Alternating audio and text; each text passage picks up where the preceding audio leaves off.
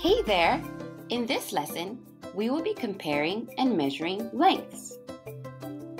Meet our friend Emma. She's doing some sightseeing in her new neighborhood. Walking along the streets, she noticed some tall buildings.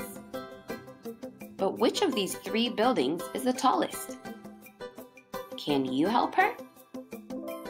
Choose among building A, B, or C. That's right. Building C is the tallest. Great job. Her town is on the seaside, so she also came to see the ocean. Right now, she sees three ships on the ocean. Which one of them is the longest? Ship A, Ship B, or Ship C? The answer? Ship A. Her last stop is her neighbor's house. She heard that there are kids in the house and she wants to meet them so she can have playmates. When she got there, she met Jamie, Chelsea, and Mike. Which one of them is the shortest?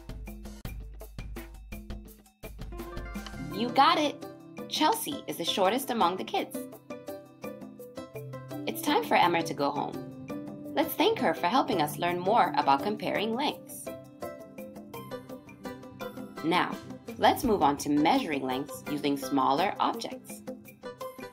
For our first example, use the cameras to measure the length of the car. Let's line up the cameras below the car and count. One, two, three, four, five, and six. The car is about six cameras long. Next, use the houses to measure the length of the airplane. Again, line up the houses below the airplane and count. One, two, three, four. Therefore, the airplane is four houses long. Lastly, use the dumbbells to measure the length of the ladder. If we line the dumbbells below the ladder, we will need to use one, two, three, four, five, six, seven, eight dumbbells.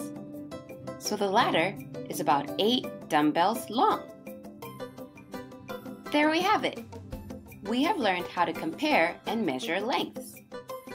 Hope you had fun!